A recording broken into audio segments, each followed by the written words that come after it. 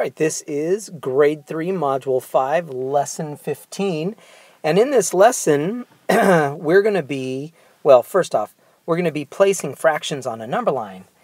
But what's different this time is we're going to be placing any fraction on the number line. So let's do a quick review of what a fraction is. So uh, teachers, you're going to have to remind the students that a denominator is the number of equal parts that that whole has been cut into. So the line has been cut into, in this case, it would have been cut into five pieces.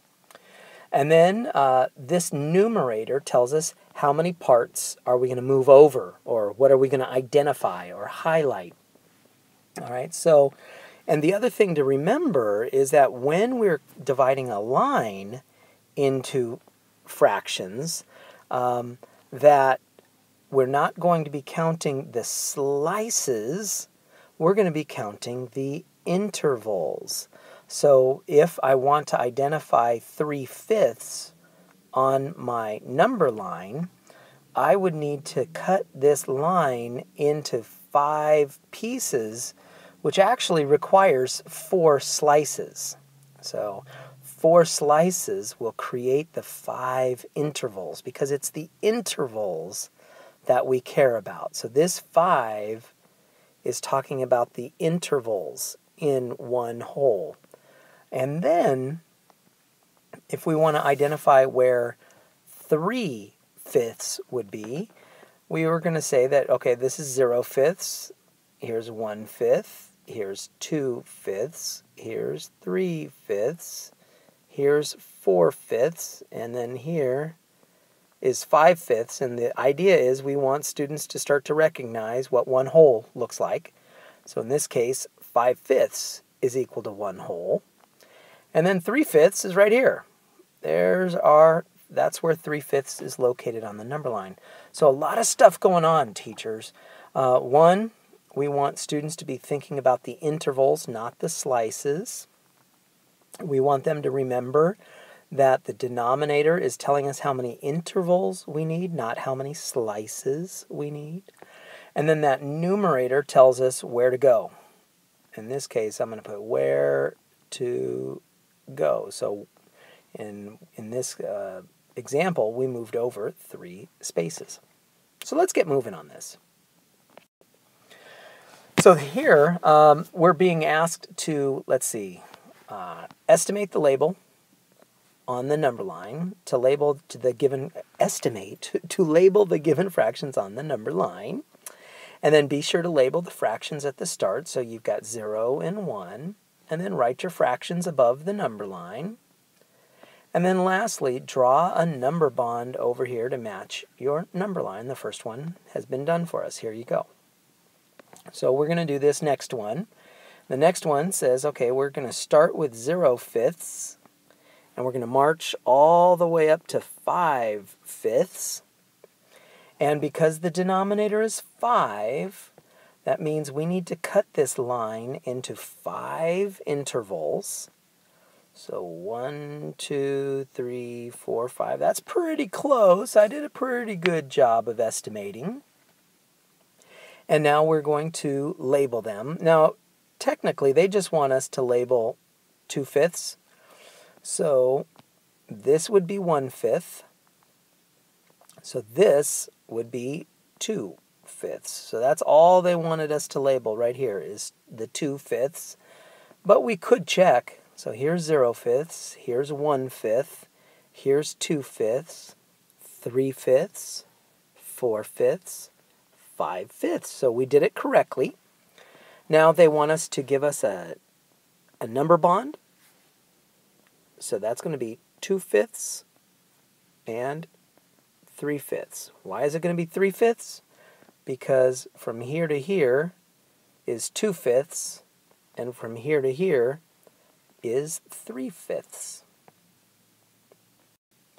Right, we're going to continue practicing this. This time our fraction is, is in sevenths. We've got sevenths here. So we're going to begin with 0 sevenths, and we're going to go all the way up to 7 sevenths. And we need to cut this line into seven equal intervals. Turns out we're going to use six slices. So let's see. One, two, three, four, five, six, seven. Ooh, I didn't do a particularly good job of estimating, but that's okay, teachers. Um, same thing with your kids. Don't they don't have to use a ruler and be all precise and stuff. Just we're going to help them estimate, and you know, especially denominators like seven. That's kind of hard to estimate for a third grader, but that's okay. Just give them the opportunity. Now we're being asked to identify three sevenths. So here's zero sevenths, one seventh, two sevenths, three sevenths. So there's three sevenths right here. And that's where our three sevenths it lives on the number line. And for our number bond, here's our one whole. And we have three sevenths. And what's the other number? It's going to be four sevenths.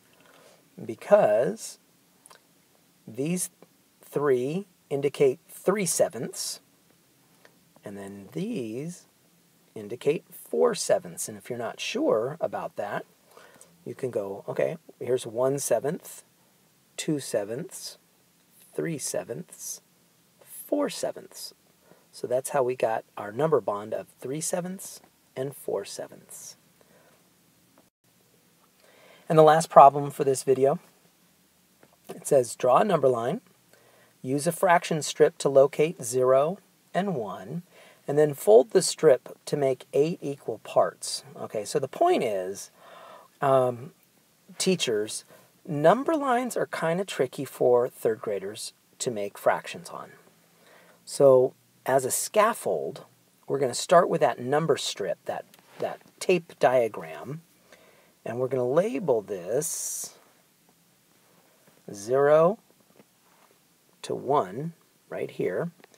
And then students can cut their tape diagram into eight equal parts. Now, eight equal parts is 2 times 4, right? 2 times 4 is 8.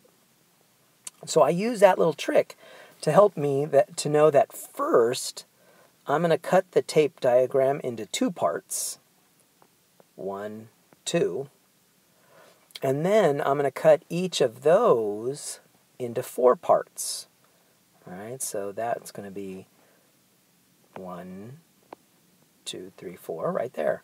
And how a nice little trick, I don't know if you saw that, but here's a nice little trick for how to teach students to cut something into four pieces is I want to cut this into four pieces. So the first thing I'm going to do is I'm going to cut it in half. Then I'm going to cut each half in half. And that gives me four pieces on this side, four pieces on this side for a total of eight pieces. So that's how I cut something into eight equal parts.